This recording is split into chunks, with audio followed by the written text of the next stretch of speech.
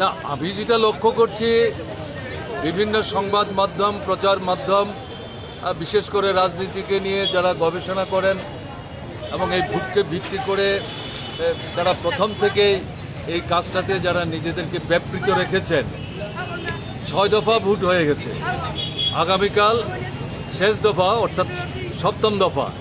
ভারতবর্ষের স্বাধীনতার পর এই দীর্ঘ সময় নিয়ে এর আগে শুধু একবারই ভোট হয়েছিল এটা একান্ন বাউন্ন সালে আর এই দ্বিতীয়বার এই ভোট হলো। তারা যেটা বলছেন যে যত এগুচ্ছে, বিজেপির অবস্থা খারাপ হচ্ছে। এবং তাদের বক্তব্য হচ্ছে, বিজেপি সংখ্যাগরিষ্ঠতা অর্জন করতে পারবে না, তারা সরকার তৈরি করতে পারবে না। তো তাদের এই মূল্যায়ন যদি সঠিক হয়, আমরা নিঃসন্দেহে উৎসাহিত হব, অনুপ্রাণিত হব এবং এটাই বাস্তবায়িত হোক তার জন্য প্রত্যাশা নিয়ে আপনাদের মতো আমরাও অপেক্ষা করছি।